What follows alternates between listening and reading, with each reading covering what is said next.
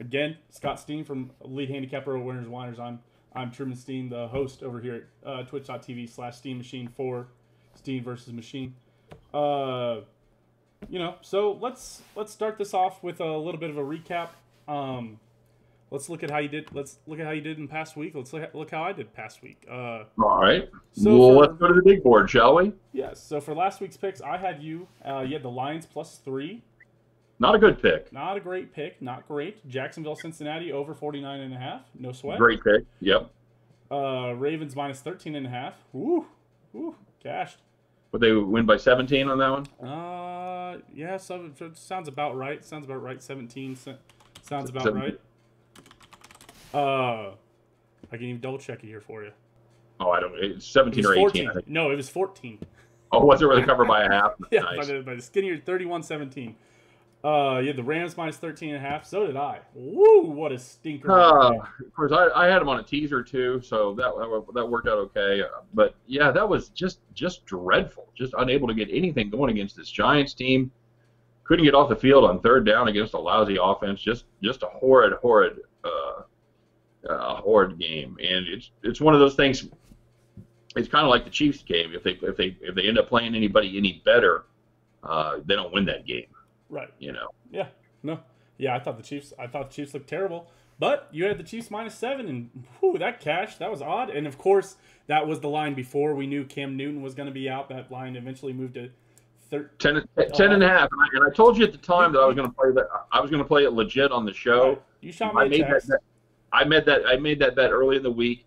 It was return, no action. Um, as you know or may not know, all games have to go within 24 hours of their original game time, where it's, it's null and void. That's most most gambling sites or most uh, casinos are going to be that way. Mhm. So I would, uh, I legitimately stayed with the Chiefs minus 10 and a half. So if the Chiefs would have won by seven, I would have counted this as a loss. Ah, you know, and I appreciate that. It ended up not mattering after that pick six. I, I'll tell you what, though, you, you, you were what ten and a half, and, Har- and Harrison Butker missed that missed that missed that extra point, uh, put him up nine, and I was like, oh, that could be big. I was like, that could be Yeah. massive. I was, I was aware that would matter. Yeah. Yeah, So but in the uh, end, yeah, it, it ended up not cost, it ended up not costing us. So Nope. Uh, of course, I had the 49ers minus seven, another stinker of a pick. And you know, I normally try to stay away from the ones where where the quarterback is new or something, and I just forget my own rules at times. There's times I, I tell myself not to bet on Thursday or Monday night games, and then I bet on them, and they and they blow up in my face. And then so it's going great here. Uh, the Colts minus two and a half, that was easy. I, you know, and I thought I told everybody all week that I thought I thought they were going to blow the Bears out of the water. I thought the Bears weren't very good. I thought the Bears, you know, that while they were three and zero, I thought they were incre- extremely overrated. I think I told everybody it felt a lot about the like the 2013 Chiefs that started off the season nine and zero, and then they ran into that ran into an eight one Denver team in Week 10 and just got the got the doors blown off. So right, and that was a weird season for the. They, that was the season they ended up facing a bunch of second and third string quarterbacks, where the guys just happened to get hurt like the week before they faced the Chiefs, and Right, and they were winning by like field goals. They were like Mhm. every game was close, but they won every single game by like one score. And you're like, this isn't, this something's not right here. doing it doing it with mirrors is what they were doing. Yeah, Sure. and uh, then I had the Panthers money line. Uh, that cash that was a that was a great great pick. Uh, uh, one that I was you know, I think I think when I first picked it out, I was like, man, is that really what that says? And you know, and then it ended up, uh, you know, they beat the Cardinals by ten. I mean, wh- wh- why do I ever doubt the spreadsheet? That's the question. Well, the reason I Yeah, I, I, I uh, I'm not sure what we saw there. I'm not sure if we saw a Cardinals team that wasn't as good as we thought they were after after the first three weeks, or if there's if it's a Panthers team that's a little better than their record would indicate. I think I think it's a I little bit think both. I think this offense is starting to come together. Uh, you know, they they brought the cat in from uh, from LSU that ran Joe Burrow's offense last year. Yeah, And I think it takes a while for that system, especially you know it's it's really hard. You've got you've got new talent everywhere, um, and it's I think it's really hard to implement a n- brand new offensive scheme with very little real world practice. Um, certainly with no preseason games, you know. So uh, you, it's going to be a work in progress for this Panthers team, but they may not be they may not be as bad as we think. Uh, Yeah. Murray continued to be not good. Uh, wasn't as dreadful as he was the week before against against Detroit, but wasn't wasn't as bad uh, but still wasn't nearly good enough to get it done against this uh, Carolina Panthers team. So right, definitely got some definitely got some more work more work ahead of them. Uh, you know, and I'm with you. I, I, think we covered this on the the podcast that I do with Owen Dahm on Tuesdays. Uh, Dahm, that's true. Uh, we y'all right there? Hmm. Y'all right there? I'm trying to suppress a yawn. Oh, I was like, what's going on? Uh, great. Now I'll probably yawn just because we talked about it. But uh, you know, you go. when we, uh, I, I think the I think the Panthers are a little underrated. I think they, they lost a close game versus Oakland week one. Then they lost to Tampa Bay, I believe, the following week, and then everybody just kind of wrote them off and forgot. And they've quietly got two pretty qual pretty good wins, pretty quality wins right now under their belt. You know, I'm not saying they're. I don't think they'll win the AFC South, but I think I think they'll certainly compete. Um, and I'm not gonna lie to you, Scott. I last week I, I don't believe I had as many picks on the spreadsheet, and I think my mind was playing tricks on me because I, I look back on it. I don't think either of these. Well, no, I think the Bills should have been picked, but I don't actually think I should have picked the Rams here. But I did, and you know, so I'll, I'll hold it honest. I did tired eyes just m- messed it up there. But the Ram, I also had the Rams minus 13 and a half, just like you. Uh, terrible pick, absolutely awful. I yeah, I told I told you at the time. I you know I, I hate playing big spreads like that, and I ended up playing two of them.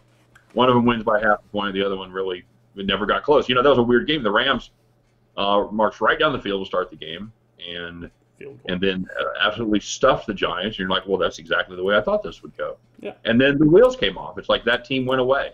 Yeah. And there was, was field goal by, after field goal, and yeah, like let, you know, like they're replaced by the 2004 Rams or something. Yeah, I think the, the Giants pulled within two, and I was like, "Oh, we're, fucked!" like with yeah. like, going into the fourth quarter, like that's it. It's like, what is going on? I was like, why are we even here? Uh, but I did play the Bills minus three and a half, and they, you know, they cashed. They took care of business against Las Vegas. There, I didn't really have much much doubt the Bills were going to win. So honestly, three and a half is not a terrible spread there. They win by I think seven. I think they get it done. But uh, so you know, so Raiders are not good, by the way. No, the Raiders aren't good, and uh, I don't. It'll be interesting to see what happens this weekend, as we've seen the Chiefs kind of play play down to opponents. I would say they've kind of.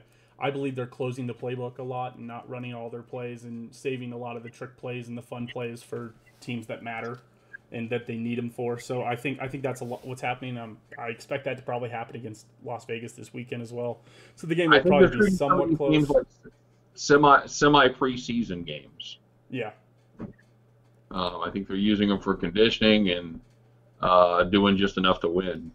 Yeah, and I think I think they're, yeah, I just I, I think they're going to get caught in one of these at some point. But yes, I yes know, they, they they usually do.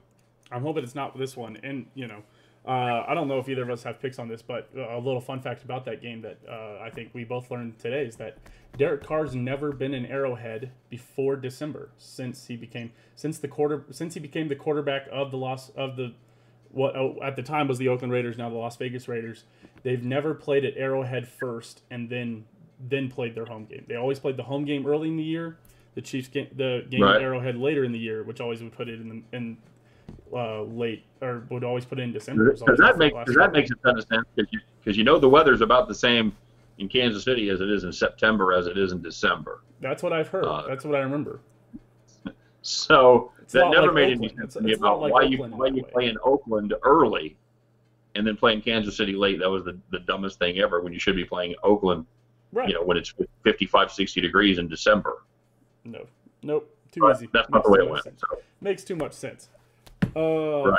Okay. So what does that? So that, what does that bring us to? And again, I don't. I don't know if I'll do the math on the spot. I don't know if I'll try to do the math on the spot just like I did last week. Uh, just kind of explain everything. Uh, so again, you went. So you, so you won three bets, right? You I did. Won your, you won your three bets. That's plus three hundred yes. for you. You lost two yes. bets at both at minus one ten. So that put you at yes. minus two twenty. Gives us a, a net of, of plus eighty. Boom. Three and two plus eighty. Add Correct. That, add that to your season record. You're up to 330, and you're nine and six. Good. Okay. Are we, are we good there? Are we both all good on the math? Uh, no, I, I was uh, I was nine. Wait a minute. I was. Well, that's right because I stayed at uh, sixty uh, percent. So yeah, you're right. I was I, I, was gonna say I was sixty percent before last week, and I was no, sixty percent. No, something's so. wrong. Hold on. No, hold on. Something is wrong. Your that math doesn't check out. I'm not sure I updated the. To- hold on, I'm not sure. I, wanted to say I was nine. And, I wanted to say I was nine and six last after last week. I think you're right. I think that's. How, I think that was only week because, four. How is well, that possible? Right, that doesn't add up to 20. No, it's not going to add up to. Oh, oh no, that's right. Oh, we were doing five games. So Five games, five games, four weeks. Yes, no, you are. You're 12 and eight. Sorry, you're not. You're not, not six and. You're not nine and six. You're 12 and eight. twelve and eight. Okay. Right. All right. So sixty percent, however you slice it. Right. So then, if we look at mine, again, I was so I had I had those five bets. Uh, the bets that I lost were both minus one ten. So I lost. I was minus two twenty. But the I hit two bets at even odds for that would put me at two hundred, and then I had the Panthers game, which put me up one forty eight. So I had three forty eight minus two twenty. Put me at plus one twenty eight. I'm three and 2 Yep. add that to my totals. I'm now at nine and eleven for the season. Not a great omen there. Uh, never forget. Um, How profitable and what's your what's your dollar loss? I'm net. I'm I'm I'm, I'm at minus two hundred two right now. I'm, I'm closing it in. You know, again, I, I stayed I stayed afloat when I had my bad weeks. I, I haven't had a catastrophic catastrophically bad week yet. And again, I, you know, I, I I bet you feel the same way here. When we do these picks, I'd much rather battle yet three and two, four and one, five and zero. I'd much rather us be up here than battling uh, like we were last week, where I was two and three and you were one and four, and I was like, huzzah! you know, you know, It's like the Special Olympics hundred meter dash. right? Fastest fastest horse to the glue factory, pretty much. So, uh, so yeah, so I was minus two hundred two, uh, nine and eleven. So you know, not you know, I made up a little bit of ground on you. Again, you know, benefit of taking some money lines.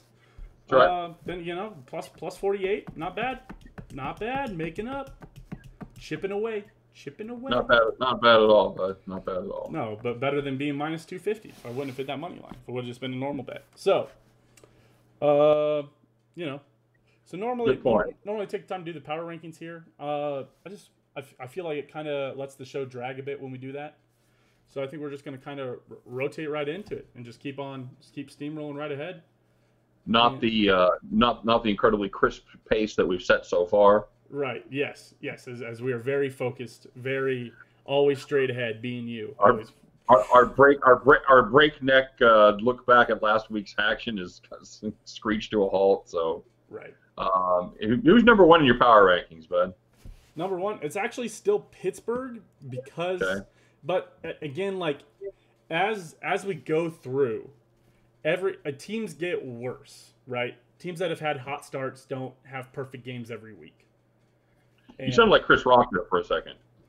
As we go through, the teams get worse. teams get worse. Yes, and so Pittsburgh not playing last week kind of kept them higher than I'd expect they'll be next week. It kept their score higher than I would expect. Uh, Right. But, uh, so top, top. So so if we just, I'll give you the top five here. I'll I'll give it to you strength of schedule wise and not strength schedule wise. I won't I won't put it up on the screen, but we can do it real quick. Um, strength of schedule wise. Uh, I need to not sort this by alpha alphabetical order. Um, Ladies and gentlemen, you ever ask one of those questions? You're immediately sorry you asked it. top five: Pittsburgh, Green Bay, Kansas City, Seattle, Indianapolis. Okay. I'm not. You know, I'm not ashamed of that top five. I think, of course, everyone's always going to question Indianapolis being up there, but now they're three and one. I was telling you guys weeks ago, get on the Indianapolis man. It was a week two. Week two, I was on Indianapolis over Min- Minne- Now, Minnesota. Philip Rivers. Is, if Philip Rivers is on the bandwagon, he's most likely going to fall off and twist his ankle. So I'm actually, I actually have a pick against the Colts this week. So as much as I have the praise for them, I uh, spoiler alert, Truman. Spoiler alert. I know, I know. But again, so Pittsburgh was uh so Pittsburgh is still top of the rankings. I believe they'll go down. Um so what I what I do have now though, and I'll probably and, and I, I haven't implemented this into my betting system yet. It'll probably go in next week. Uh, I like to have a little bit uh, a few more weeks for this, but it's the strength of schedule ranking. So we adjust, so we go through and then we we adjust every team based on strength of schedule, where the worst team gets a, a multiplier of one, and then everybody else's uh, strength of schedule gets divided by that number, and they get a multiplier of plus whatever. So once that strength schedule has been applied, Kansas City is actually number one. Oddly enough, New, the New Orleans Saints are at number two. Very interesting. uh, Green Bay number three, Dallas number four, and Seattle number five. A lot of questions there. Uh, that's why I would never just use the strength schedule. I like to have a little bit of both. Sometimes strength schedule doesn't tell the whole story, and especially not this early. That's why I generally wait.